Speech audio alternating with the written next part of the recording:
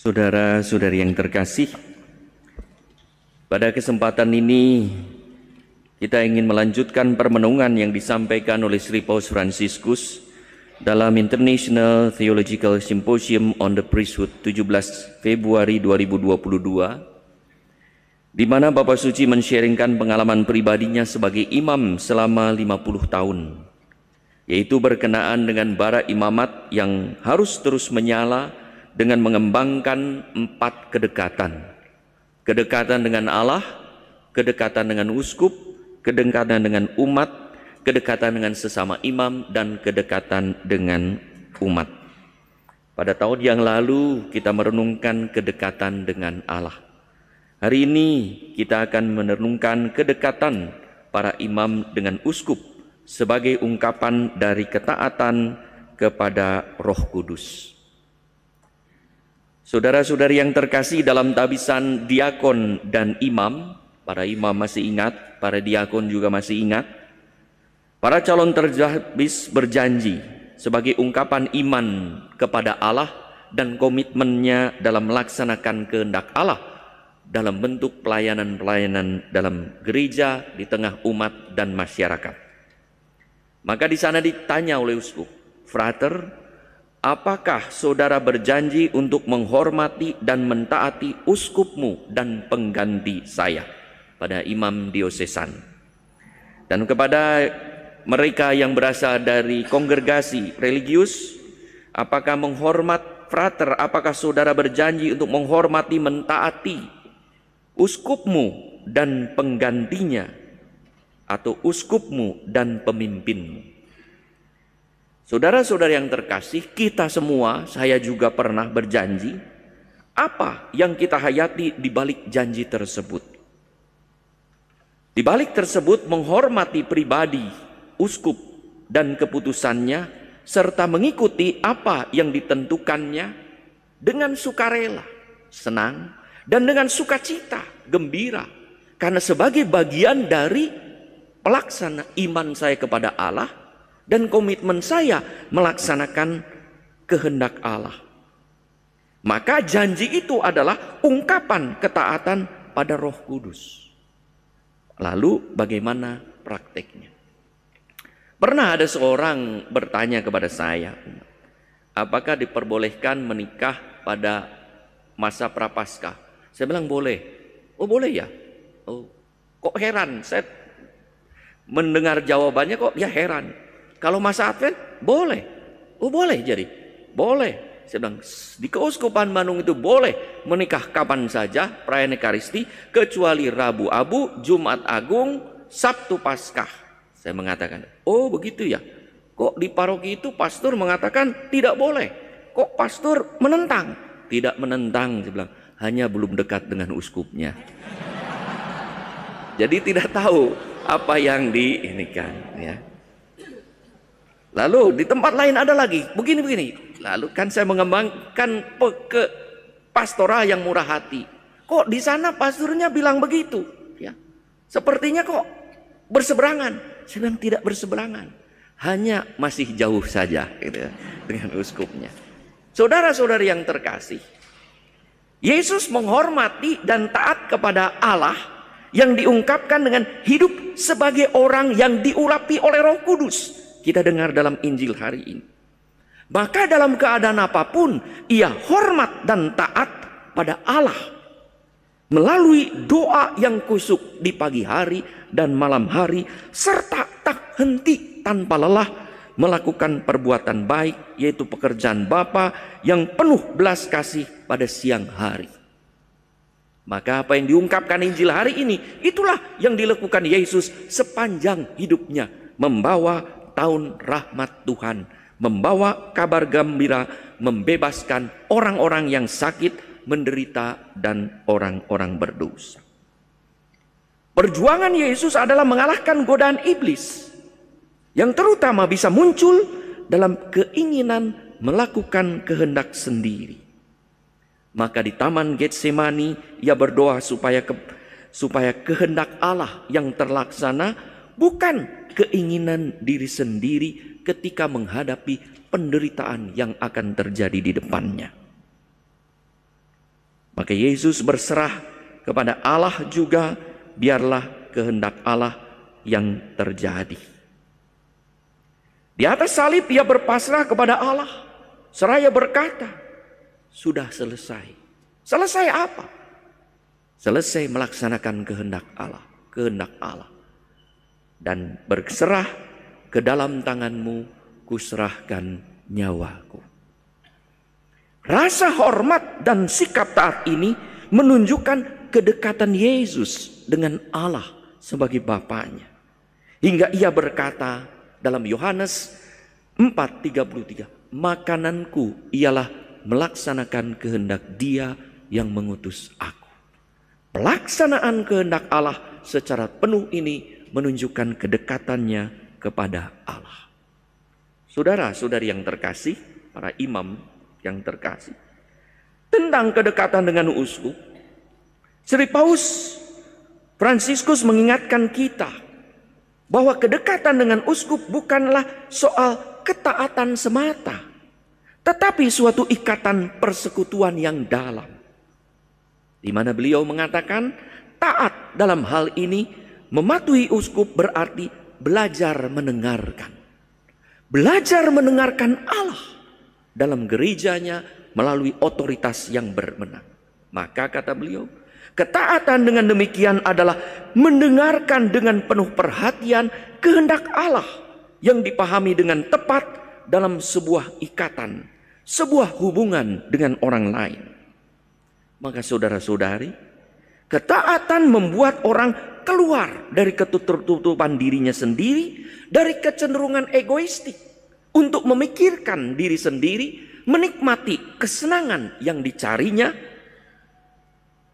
Sebaliknya, justru ketaatan membuat orang terbuka pada relasi dengan orang lain dan mengembangkan sikap altruistik, sikap mau melayani orang lain. Bahwa saya hidup, bekerja, menjadi imam untuk melayani sesama dengan penuh komitmen sebagai ungkapan iman pada Allah. Maka hidup saya, perkataan, perbuatan, gerak-gerik saya menghadirkan belas kasih Allah untuk menyatakan kemuliaan Allah dan orang lain yang mengalaminya mendapatkan berkat Tuhan. Ketaatan ini juga membuat seorang imam tidak hidup bagaikan bujangan yang seakan bisa menentukan cara gaya hidup karyanya seenak perut dan semau jidat tetapi dengan sadar terikat pada komitmen dalam kebersamaan dengan uskupnya dan rekan imamnya dalam melaksanakan kehendak Allah yang juga tampak pada visi pastoral uskupnya. Sebagaimana saudara-saudari ketahui, visi pastoral saya adalah diligatis in vicem. Kasihilah seorang akan yang lain. Siapa pun, apa pun agamanya, apa pun latar belakang ekonomi, sosial, budaya, politik, dan agamanya. Kasihilah seorang akan yang lain. Dan itulah yang diungkapkan oleh Yesus terus-menerus dalam latar belakang pada saat perayaan jamuan terakhir perayaan Ekaristi. Dan perayaan Ekaristi mengingatkan kita hari ini, kasihilah seorang akan yang lain.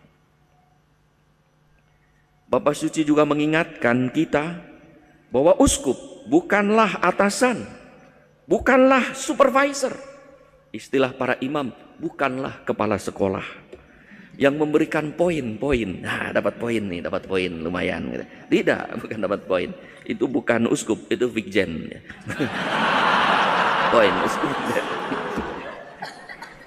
Kasih poin. Jadi, tetapi seorang bapak ya yang membantu para imamnya untuk makin mengenal kehendak Allah untuk dirinya dan melaksanakannya hingga para imam ini mengalami sukacita, happy. Maka pas Romo Sun, Petrus Sunu Hardiando, terima kasih atas bimbingan rekoleksinya, mengingatkan kita para imam sukacita ketika merayakan Ekaristi. Pengalaman apa ya pengalaman iman apa dan sukacita itulah yang di disadarkan kembali eh, dalam rekoleksi sebelum kita mengulangi atau mengucapkan janji imamat ini memperbaharui. Jadi sukacita ini hanya akan terjadi kalau uskupnya juga kata Paus memberi perhatian penuh kasih pada hidup para iman imamnya dan juga umat yang dilayaninya. Maka kedekatan para uskup bukan sekedar kedekatan badani tetapi kedekatan rohani.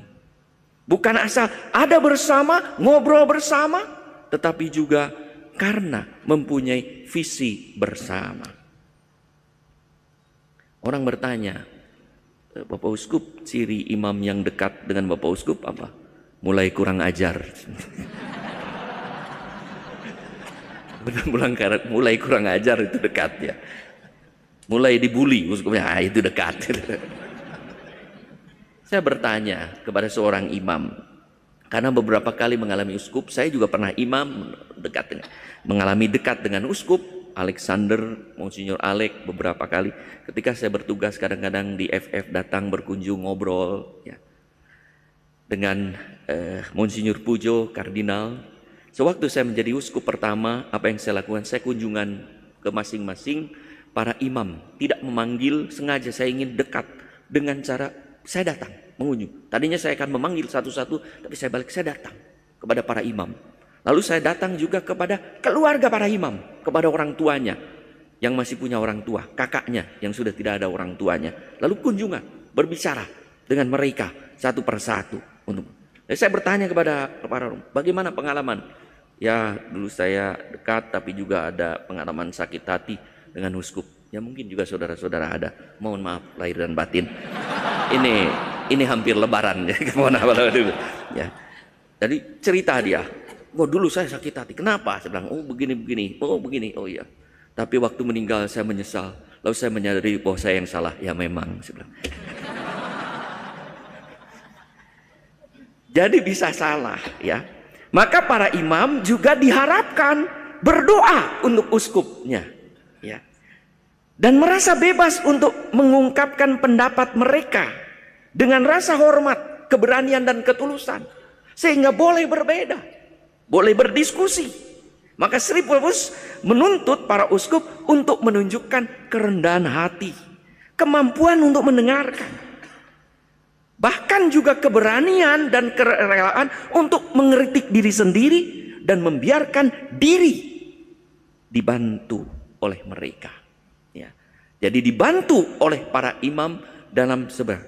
Maka Agustinus sangat bagus ketika berhadapan dengan umat. Di hadapan saudara-saudari, saya uskupmu. Tapi bersama dengan saudara-saudari, saya adalah temanmu. Saya adalah saudaramu. Saudara-saudari yang terkasih, para imam teristimewa, kedekatan dengan uskup maka sekali bukan soal kedekatan badani karena makin sering orang bertemu atau berbicara, apalagi imam-imam ada yang rajin sering membawa proposal. Tetapi juga kedekatan rohani karena makin mampu memahami, melaksanakan dan melaksanakan visi pastoral. Kedekatan salah satunya tampak dalam rasa aman dan nyaman ketika ada bersama. Tidak tertekan, maka kalau saudara-saudara, para imam masih merasa tertekan pada saya, berarti saya masih jauh dari saudara. Ya. Mohon maaf dan lahir dan batin itu ya. Tapi kalau saudara sudah kurang ajar dengan saya, berarti sudah dekat, tidak apa-apa. Ini memang nasibnya begitu. Lalu juga ketika ada bersama, ada rasa sukacita. Ada rasa sukacita saat berkarya. Di mana pun, dalam bidang apa pun. Untuk itulah saya juga berusaha selalu memahami apa yang menjadi keprihatinan Bapa Suci. Yang saya imani sebagai bagian dari kehendak Allah. Dan saya amini dalam melaksanakan tugas melaksanakan kehendak Allah dalam tugas-tugas pastoral saya dengan setia apa yang menjadi keprihatinan Sri Paus Franciscus saat ini.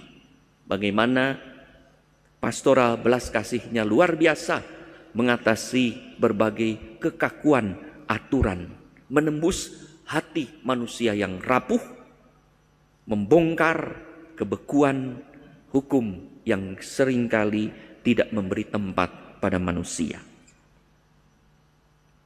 Atas nama umat yang dilayani dengan setia, saya mengucapkan terima kasih kepada para imam dan bersyukur kepada Allah atas kesetiaan para imam pada janji imamat dan kesungguhan dalam melaksanakan tugas kegembalaan di tempat masing-masing.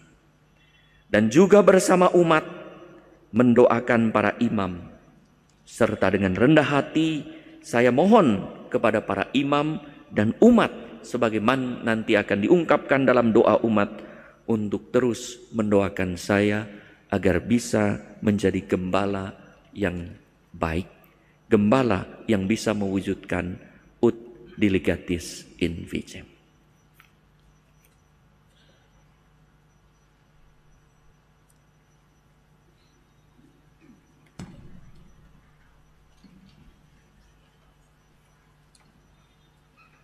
Saudara-saudara, para rekan imam yang terkasih,